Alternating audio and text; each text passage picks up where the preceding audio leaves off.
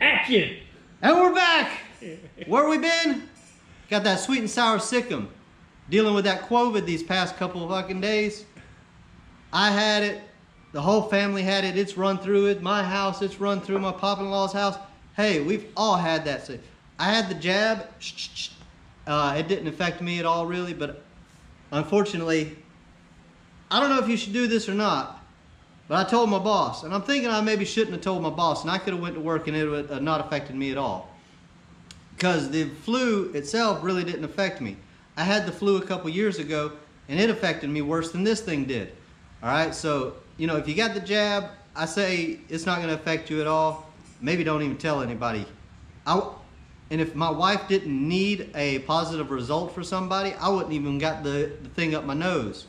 I wouldn't have got mm, raped up my nose, but she needed a positive uh, um, test, an official positive test from somebody, not just the home raping of the nose. But that's all right. The COVID, the COVID-19 has run through all of Florida. I think Florida is going to be done with it here in a few weeks.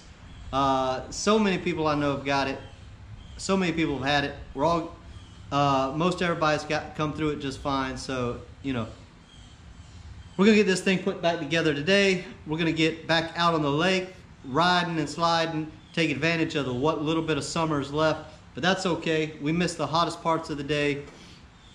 We're gonna get into that nice fall, uh, um, end of summer Florida weather here pretty soon, and we're gonna be getting out there, getting some of that beautiful central Florida weather and lakes, and getting in that water and getting wet. All right, so let's get back to work.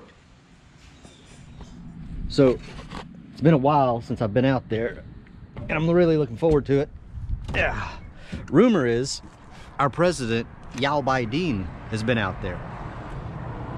Man drives a Mack truck. He knows how to drive a Mack 18 wheeler. So of course he's gonna be out there. Rumor also is he's a car motorboat guy. Makes sense. Bigger government, bigger boat, no balance to it. Makes sense, doesn't it? Anyways, I don't know if we'll see him or not. I hope so.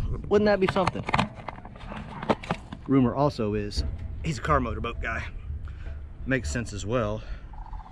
Democrats are naturally dispositioned to bigger government.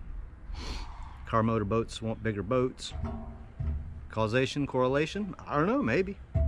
Not saying all car motorboat guys are Democrats, but makes sense. So now that I've fired some shots at my car motorboat guys, understand it's all in good fun.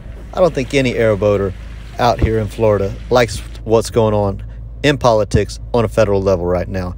They have really screwed the pooch on this one. Anyhow, we got more boating to come. Had a good day, and I can't wait to share the footage with you. It's all in editing right now. We'll see you later.